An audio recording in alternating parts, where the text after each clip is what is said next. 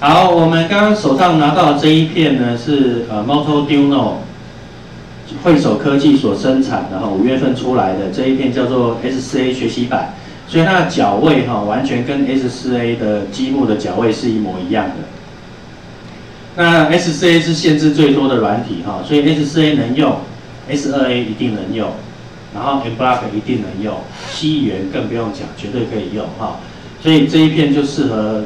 其实蛮适合学校初学者使用，好，好，那我们来看一下，刚刚我们已经用了数位控制在控制这个十、十一、十二，那现在呢，我们来了解一下哈，什么叫做 PWM，就是刚刚讲的几层功率那个地方。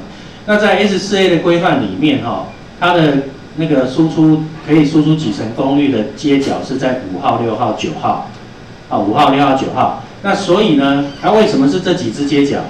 因为在 Arduino 的板子硬体所提供的功能里面，如果它这个接角上面有画小毛毛虫的，这几只接角就可以使用功率的输出调整，啊 P W P W M 的功能。那因为 S 四 A 呢，它把它锁死了，所以它只提供五六九，好五六九来提供给那个使用。那十十一它把它定义成数位输出，所以这个就变成。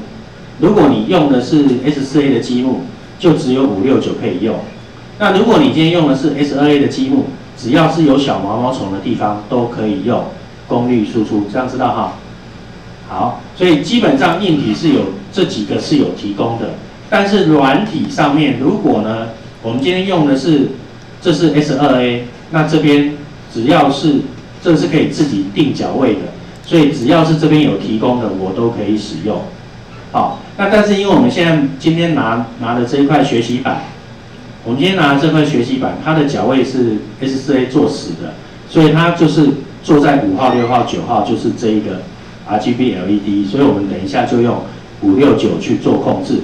好，所以呢，我们要先启用五六九号，好，那就把五号把启用。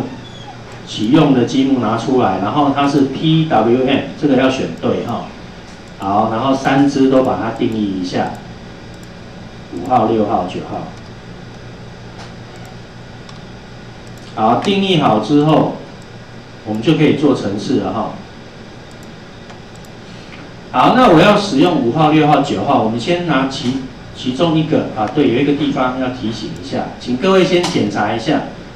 它这里有一个跳线，好，如果这三只脚的跳线，如果它的跳线摆在靠近按钮这一边，那就是控制这里；那如果它的跳线摆在左边，那就是控制蜂鸣器输出。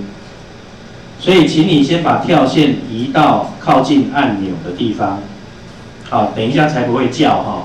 因为它这两只脚位是共用的，它的九跟九是共用的，所以如果你跳到左边，当你输出到 D 九的时候，蜂鸣器会叫。啊，如果你跳到右边呢，当你输出九的时候是 RGB 会亮。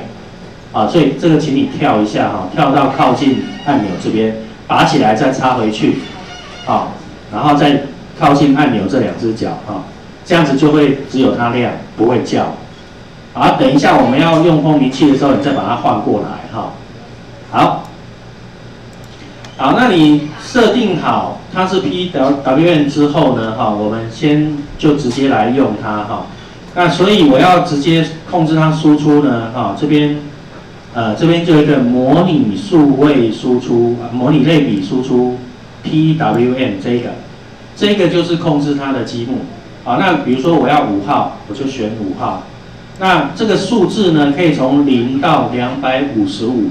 那零当然就是关掉的意思哈。如果你玩过 S4A，就会很清楚哈。零就等于是关掉，啊，零就等于是关掉。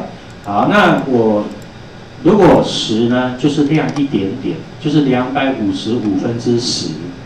好，那其实还要更亮啊。好，比如说再来个五十好了。好，这个就亮度哦，哈，最高可以到两百五十五哦。两百五十五，好，那我让它每一个都等一秒钟，这样你才来得及看到变化哈。我们不会用太复杂的程式去做测试哈。好，所以这个动作就是关掉一点点亮，再多一点亮，全亮，然后再回到关掉，好，就这样去轮回哈。好，我们先试一下它的这个五号灯。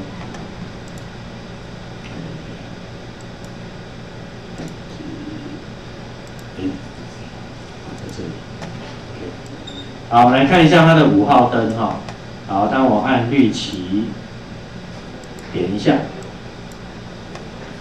怎么样？五号灯是蓝色的灯，一点点亮，多亮一点，更亮，关掉，一点点亮，多亮一点，更亮，啊，关有没有？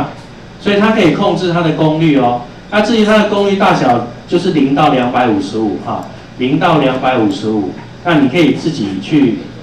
去设定说这个数字是多少？那当然，你可以用变数，啊，你可以做变数，然后数字算到多少它就多亮，啊，但是不能超过这个数字，零到两百五十五，然后不能用小数，啊，也不能超过，不能低于零，不能高于两百五十五，哈，来麻烦各位试一下，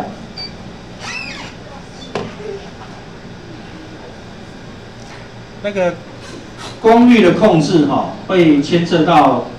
我们输出的输出的那个大小，那输出的大小，我们等一下如果是调调 R G B 三个颜色的灯的话，好，它如果有两百五十六阶的变化一个灯，那三个灯就是两百五十六乘两百五十六乘两百五十六种变化，那就是一六七七万色，就是我们俗称的全彩。所以这一颗灯远远看，它是可以发出全彩的颜色哦，啊，这个就是。那个电视墙的零件，啊，电视墙它每一个小小的 LED 都可以发出全彩的颜色，一六七七万色。那颜色是你自己调的，啊，你所以你等下三个，你先测试一只脚，啊，一只脚可以工作，你就可以测试三只脚，三只脚数字不一样，亮出来的颜色就不一样。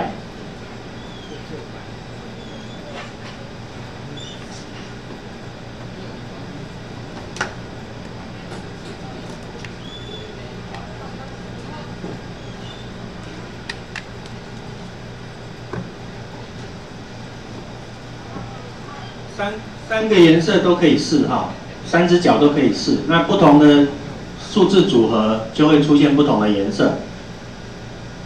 那如果你想知道那个颜色怎么组合哈，你可以自己上网 Google 那个配色表啊，RGB 的配色表。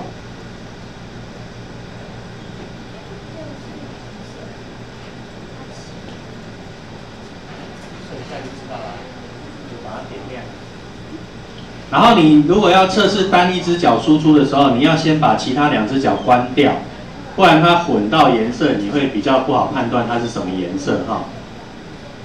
先把其他的颜色关掉，然后只开那一个，那你就会知道那一只脚是控制什么颜色哈。